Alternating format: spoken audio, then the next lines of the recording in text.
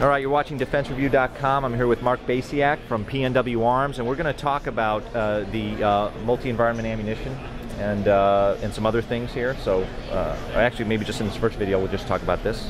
Uh, that would be great, David. Okay. So we actually have a couple things that we can actually demonstrate today. First of all, it's very important to note that these are actually production samples, which means they are 100% Berry compliant, made in the USA, ready to ship domestically and worldwide. Right. We're looking at this as Part of a fused project. part Between, of, part of a fused project between PNW Arms and DSG. gotcha. Now, what makes this round very interesting is the uh, the engineers at DSG have done a fantastic job of creating what's called multiple environment ammunition, or MEA. The MEA comes in two variants. So one of the variants that we'll show you, this is a 762 by 51. This is called a GPS. Now the GPS is a solid copper round that can actually penetrate water and then swim for 15 meters and then hit a target. If you think about that, if you try to fire a conventional 7.62 in the water, it'll probably swim for about ooh, two feet, and then it'll dump all of its energy and fall to the ground. Right. So to be able to go 15 meters and then hit a target is pretty is pretty significant. And Now- GPS stands for? That's a great question. General purpose supercavitating round. Okay, General Purpose Super Supercavitating Round. Try saying that 50 times in a row. That's but why I paused. Okay. All right.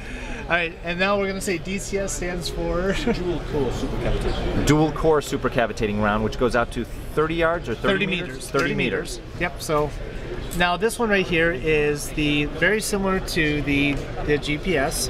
Right. So if you notice that the dimensions look very similar. Right, but one is using a tungsten. Correct. This is actually using a tungsten top and penetrator. Right. Uh, the cool thing about this is it's double the distance underwater. So this will go 15 meters and this will swim for 30 meters. Uh, the nice thing about the supercavitation effect is actually what it does uh, from a terminal perspective when it hits its intended target.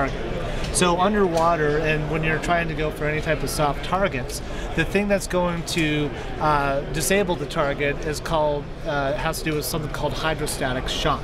Right. It's not the wound channel. The wound channel is just how far that you can extend or release all the blood. Right. Now, what we want to do here is if you get, uh, uh, if this actually does penetration with the soft tissue, what will end up happening is that supercavitation effect will continue inside of the body. So what you're looking at is a massive pressure wave that will internally build up. And because of the way that uh, most creatures are majority water from a composition, you can imagine that those effects are, are terminal. Interesting. All right, so that's pretty much it on that, right? That is it on that. All right, DefenseReview.com. Thank you very much, Mark. Thank you very much, David. All right.